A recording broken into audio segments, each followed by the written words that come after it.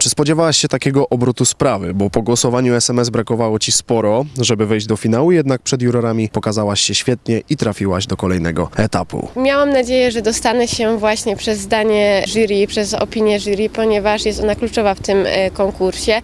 Cały czas utrzymywałam się jednak w rankingach dziewczyn, które mają tych głosów najwięcej, za co serdecznie dziękuję osobom, które oddały na mnie swój głos i cieszę się, że zostałam po prostu doceniona przez e, jury, że mogę brać udział w dalszym etapie tego konkursu, więc mam nadzieję, że będzie dobrze.